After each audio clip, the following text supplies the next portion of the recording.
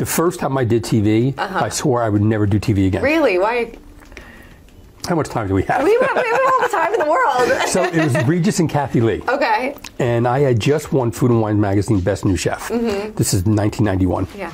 And so on Friday they called me and said, "Can you bring, you know, a dish and we'll go through the steps." I was okay. So I brought this dish. It was braised red snapper, Mm-hmm. and then there was like a, an eggplant caviar sandwich between layers of fried eggplant. Okay. Um, and there's a sauce with roasted red peppers, lemon, lemon zest, Mm-hmm. olive oil. But I had all my steps set up, and so I walked through the steps, and the producer was like, "Great."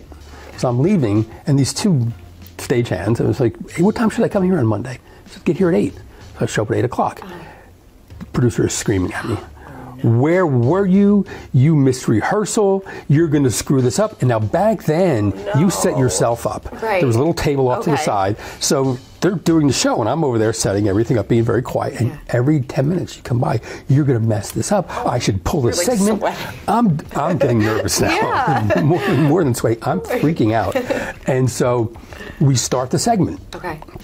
And the first thing I do is I had eggplant that I had to cut in half, score, and then put it in the oven. Mm-hmm. Now I already had the roast eggplant done, so I turn around, I put it in the oven, and Regis is over there fumbling with the oven. And he's like, he's, I said, "Come over here, we're good." He goes, and he's like, "No, I got to turn the oven." I said, "No, I'm, I'm, okay, we're good." And he comes over, and I take the eggplant out, and he goes, "That's what happens when you miss rehearsal." And I'm like, I can't believe this guy just threw me under the bus. under the Like, bus. So, so I go, I get through the segment, and it's perfect. We Okay, nail good. it. We absolutely nail it. And so producer comes over and she said, "Oh, that was great." And I was like, "Why did he? you." Why did he throw me under the bus like that?" He goes, "No, he missed rehearsal." Oh my God, that's It hysterical. was it was such a bad experience. I walked off that set. I will never do TV again.